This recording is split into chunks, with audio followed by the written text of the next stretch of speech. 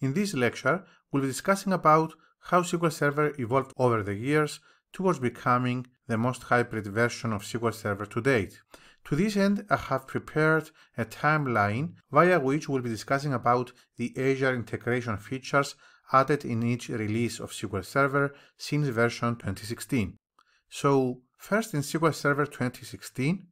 there were some features that integrated SQL Server on premises with Azure SQL Database, and these features are Polybase Query Engine, which actually integrates SQL Server with external data in Hadoop or Azure Blob Storage, the Stretch Database feature, via which you can archive data from a local SQL Server database, that is SQL Server on premises, to an Azure SQL database, as well as direct query and data source support for Azure SQL in analysis services.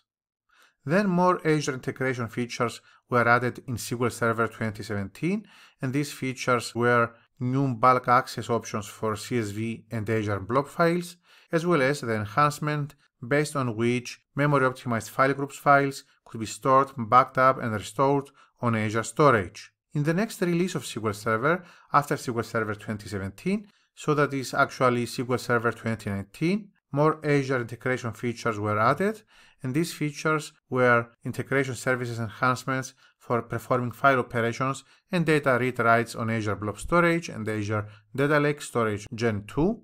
support for Azure SQL Managed Instance Databases in SQL Server Master Data Services, as well as support for Azure SQL Managed Instances in SQL Server Reporting Services. So you can see that SQL Server 2019 provides even more integration with Azure SQL Database and more specifically with Azure SQL Managed Instance when compared to the previous versions of SQL Server, for example SQL Server 2016 or SQL Server 2017.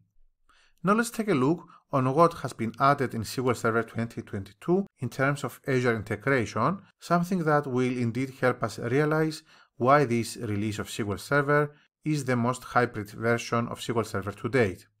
So SQL Server 2022 contains even more Azure integration features, about which we'll be thoroughly discussing in later lectures and sections in this course. So the Azure integration features added in SQL Server 2022 is the link to Azure SQL Managed Instance for high availability, Microsoft Defender for cloud integration, Microsoft Purview integration,